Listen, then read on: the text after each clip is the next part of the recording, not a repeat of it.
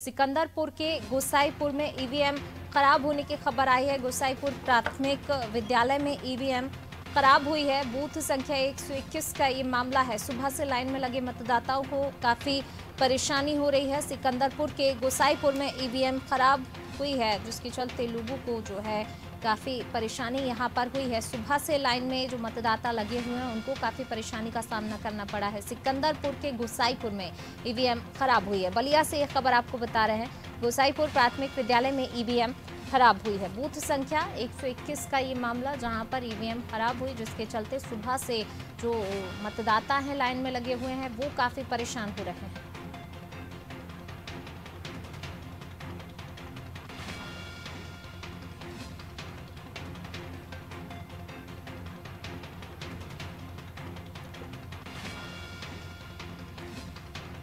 Booth संख्या 121 का ये मामला सुबह से लाइन में लगी मतदाताओं को काफ़ी परेशानी हो रही सिकंदरपुर के गोसाईपुर में ईवीएम खराब हुई है। बलिया से खबर आपको बता रहे हैं।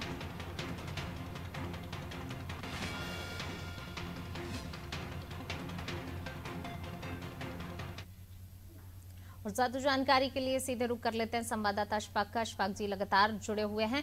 अशफाक सिकंदरपुर के गोसाईपुर में ईवीएम खराब हुई, जिसके चलते जो है सुबह से ही मतदाता जो काफ़ी उत्साह के साथ पहुँचते हैं मतदान करने के। चलिए, लोकतंत्र का उत्सव है, हम वोट डालते हैं। लेकिन ईवीएम खराब हो जाती है, ऐसे में लोगों को काफ़ी परेशानी का सामना करना पड़ता है। अभी फ़िलहाल की बात की जाए, सिकंदरपुर के गोसाईपुर में ईवीएम खराब हुई है। क्या कब तक ठीक होगी या उसको सुधार लिया गया, इस बारे में क्या कुछ जानकारी? चुनाव आयोग जो लखनऊ में है, उनका ये बयान आया है। थोड़ी देर पहले अभी आया है कि वहाँ पर नई ईवीएम जो है लगाई जा रही है और उनका कहने के मुताबिक कुछ ही मिनटों में जो है नई ईवीएम शिफ्ट कर दी जाएगी। जो अधिकारी वो मौके पर पहुँच गए हैं।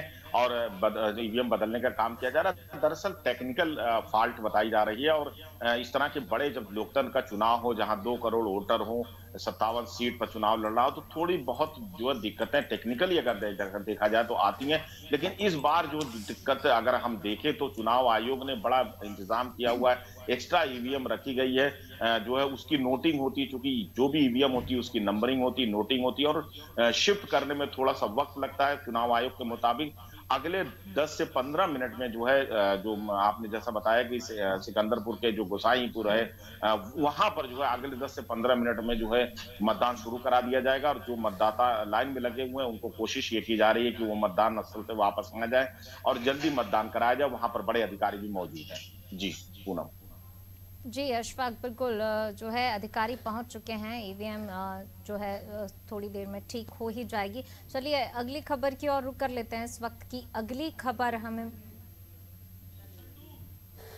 बलिया से मिल रही है। सुबह सपा अध्यक्ष ओपी राजभर ने मतदान किया है।